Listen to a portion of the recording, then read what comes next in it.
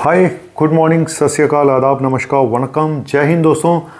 आज का टॉपिक जानबूझ के बना रहा हूँ, क्योंकि अभी हाल फ़िलहाल में दो तीन पेशेंट मैंने ऐसे देखे जो यंग पेशेंट थे, और ब्लड प्रेशर उनको हाई रहता था, लेकिन वो दवाई नहीं खाते थे, और ब्रेन हेमरेज हो गया, कोई बेड पे पड़ा हुआ है, किसी की डेथ हो गई। तो लोग बहुत लाइटली लेते हैं ब्लड प्रेशर को, ऐसा मत करिएगा। आज का टॉपिक क्या है? आज का टॉपिक ये है कि ब्लड प्रेशर को नंबर वन कि बिना दवाइयों के आप कैसे ख़त्म कर सकते हैं, कैसे कम कर सकते हैं नंबर वन दूसरा, एकदम से बीपी को अगर आपके पास कोई दवाई नहीं है और आप घर बैठे हुए हो, जब तक दवाई का इंतज़ाम हो, तब तक हम क्या करें? ठीक है? तो कि क्विक एकदम से ब्लड प्रेशर को कुछ मिनटों के अंदर हम कम कैसे कर सकते हैं, जितना हम कर सकते हैं, वो तरकीबें बताऊँगा। और नेचुरल ढंग से बीपी को कंट्रोल करने के लिए और क्या क्या करना चाहिए, वो भी बताऊँगा। सबसे पहले ये बता दूँ कि नॉर्मल ब्लड प्रेशर होता कितना है? वैसे हम बोलते हैं 120 ट्वेंटी बाई एटी लेकिन एक रेंज होती है। तो अगर आपका blood pressure 135 thirty five by eighty से ऊपर है तो हम बोलेंगे ये बॉर्डर लाइन हाई है, लेकिन ट्रीटमेंट हम शुरू करते हैं 140 फोर्टी बाई नाइन्टी से अगर ऊपर बीपी चला जाता है, ऊपर का सिस्टोलिक ब्लड प्रेशर बोलते हैं, नीचे का डायस्टोलिक ब्लड प्रेशर बोलते हैं, अगर 140 बटा नब्बे से ऊपर है तो हम दवा शुरू कर देते हैं और दवा रेगुलर खानी चाहिए और ब्लड प्रेशर रेगुलर मोनिटर करते रहना चाहिए। और बहुत सारे लोगों को तो पता ही नहीं होगा कि बीपी उनको है भी है। कभी देखा ही नहीं बीपी मशीन क्या होती है बी की? पता ही नहीं। तो भाई अब टाइम आ गया अपनी इम्यूनिटी पे ध्यान देने का, अपनी बॉडी पे ध्यान देने का। तो घर में बीपी इंस्ट्रूमेंट सबके होना चाहिए। हज़ार बारह सौ में बढ़िया सा बीपी इंस्ट्रूमेंट आ जाता है। जाइए, ले आइए डिजिटल वाला और देखिए। ठीक है? अब ब्लड प्रेशर अचानक अगर ब्लड प्रेशर हाई हो जाता है तो नेचुरल ढंग से तुरंत क्या करें? पहले तो ये बताऊँगा, फिर इसको ख़त्म करने के लिए, जड़ से ख़त्म करने के लिए और हम क्या क्या कर सकते हैं, वो भी बताऊँगा। अगर ब्लड प्रेशर हाई हो जाता है, सबसे पहला काम करें लेट जाएँ, आराम करें। Number one number two deep breathing exercise करें। लंबी लंबी सांस लें, रोकें थोड़ी सेकंड के लिए और फिर छोड़ें। तो इसको कहते हैं डीप ब्रीदिंग एक्सरसाइज ये करें। दूसरा, थोड़ी देर मेडिटेशन कुछ अगर कर सकते हैं, कहीं ध्यान लगा सकते हैं रिलैक्स होने के लिए वो करें। तीसरा, पानी पीजिएगा। ठीक है? पानी पी सकते हैं। चौथा, आप एक गर्म पानी में नहा लें या गर्म पानी का शावर ले लें या उसमें बैठे रहें पंद्रह मिनट तो गर्म पानी से भी आपका बीपी डाउन हो जाएगा, ठीक है? तो ये तो हो गया मैंने जो बताया आपको। और खाने पीने में क्या ऐसा ले सकते हैं जिससे कि आपका बीपी थोड़ा कम हो जाए? आपके घर में अगर ग्रीन टी है, आप वो पी सकते हैं। एक डार्क चॉकलेट अगर मिल जाए, आप उसको खा सकते हैं। या फिर थोड़ा सा टोंड मिल्क पड़ा हो तो वो भी पी सकते हैं। पोटेशियम वाला कोई जूस हो, अनार का जूस हो गया चुकंदर का juice yes beet root juice जो होता है, वो भी ब्लड प्रेशर को कम करता है। आप उसको भी पी सकते हैं, ठीक है? और इसके अलावा जो है, अनार का जूस मैंने बताया आपको, और अंगूर का जूस भी आप पी सकते हैं, उससे में भी पोटेशियम होता है, फाइबर होता है तो वो भी ब्लड प्रेशर को कम कर सकता है। पानी ज़रूर पीजिएगा, ठीक है? तो ये तो हो गया कि इमीडिएटली हम क्या क्या कर सकते हैं बिना दवा के। दवा है, दवा तो खानी ही खानी है, फिर अगर दवा पड़ी है। लेकिन सपोज़ जब तक दवा नहीं है, तब तक क्या करें? डीप ब्रीदिंग एक्सरसाइज गर्म पानी में नहाएँ और जो मैंने बताया आपको कि रेस्ट करें और थोड़ा मेडिटेशन करें और जो खाने पीने का मैंने दो चार चीज़ें बताई हैं, ये आप ले सकते हैं। और आप क्या ले सकते हैं कि एक टोमेटो जूस आप ले सकते हैं घर में बना के। टोंड मिल्क तो मैंने बता दिया आपको, एक गुड़हल की चाय होती है, हिबिस्कस। तो ये चाय भी बीपी को डाउन करती है और बीट रूट इसलिए चुकंदर का जूस क्योंकि उसमें नाइट्रेट्स होते हैं। नाइट्रेट्स जो हैं, बहुत हार्ट के लिए भी हेल्दी होता है और बीपी को भी डाउन करता है। तो और टोमेटो जूस में लाइकोपिन होता है, जो कि बीपी को डाउन कर सकता है। और टोंड मिल्क में पोटेशियम होता है, कैल्शियम, मैग्नीशियम सब कुछ होता है तो वो भी बीपी को डाउन कर सकता है। तो ये तो खाने पीने में मैंने बता दिया तो तुरंत अगर बीपी डाउन करना है तो ये वाली तरकीबें आप अपना सकते हैं। अब बताता हूँ कि वैसे बीपी को जड़ से अगर आप ख़त्म करना चाहते हैं या कम करना चाहते हैं बिना दवाइयों के तो क्या क्या सावधानियाँ रखनी चाहिए? नंबर एक, dash diet. Dash diet.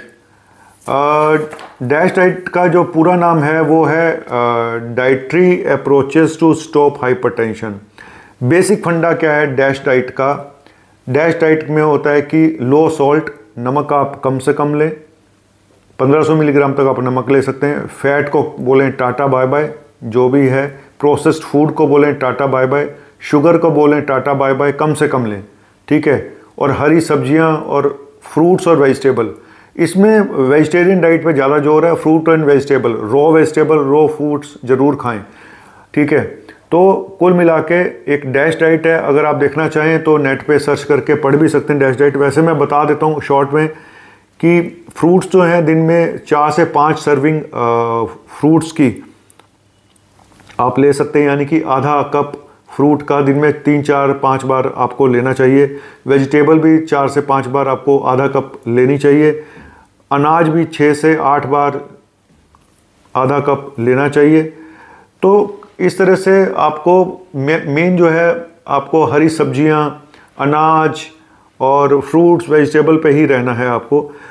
नट सीड्स भी आप हफ़्ते में चार से पाँच बार ले सकते हैं और शुगर पाँच चम्मच शुगर एक हफ़्ते में बस। जितना शुगर एक दिन में एक चम्मच से ऊपर शुगर तो नहीं होनी चाहिए, एक उनको जिनको ब्लड प्रेशर है। अब आपको कहे सर ब्लड प्रेशर में नमक सुना था, शुगर का शुगर भी अल्टीमेटली आपका ये सब चीज़ें बढ़ाएगी।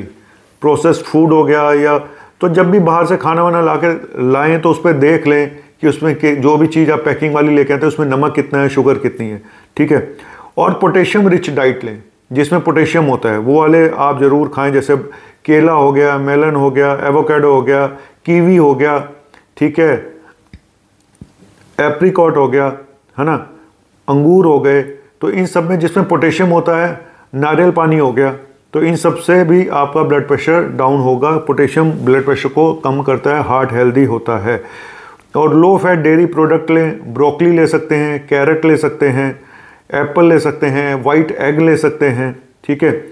और चार पाँच बादाम रोज के भिगो के ज़रूर खाया करें। ये तो डाइट के बारे में हो गया। और आप क्या कर सकते हैं ब्लड प्रेशर को आ, कम करने के लिए? मैंने बताया जैसे कि नमक कम करना है आपको। स्मोकिंग अगर आप कर रहे हैं तो स्मोकिंग बंद कर दीजिएगा। दारू बिल्कुल कम से कम करिएगा। एक्सरसाइज रेगुलर करिएगा। और डी स्ट्रेस करना बहुत ज़रूरी है अपने आप को थोड़ी देर के लिए। और ऐसे काम मत पकड़ो यारो जो आपके बस के नहीं हैं। ज़बरदस्ती हम लोग काम के चक्कर में इतने बर्बाद हो जाते हैं कि हमारे पास फिर समय ही नहीं बचता। और जितना पैसा हम कमाते हैं, सब डॉक्टर को दे के चले जाते हैं। तो आपको ये बात समझ नहीं आती कि सबसे ऊपर हेल्थ को प्रायोरिटी देनी चाहिए, बाकी कामों को बाद में प्रायोरिटी देनी चाहिए। और बीपी रेगुलर चेक करते रहें। बहुत सारे लोग बीपी चेक ही नहीं कराते हैं। सालों सालों तक बीपी चेक नहीं कराते, डरते हैं। कुछ हो ना जाए, निकल आए तो दवाई खानी पड़ जाएगी, एक बार दवाई लग गई तो ज़िंदगी भर खानी पड़ेगी। ये सब आपकी गलत फहमी है। आपका वज़न अगर ज़्यादा, आप वज़न कम कर लो, आपका बीपी भी ठीक हो जाएगा, शुगर भी ठीक हो जाएगा। तो वज़न कम रखिएगा, जितना आप कर सकते हैं। और बाकी नींद अच्छी होनी चाहिए, स्लीप आपकी बहुत अच्छी होनी चाहिए।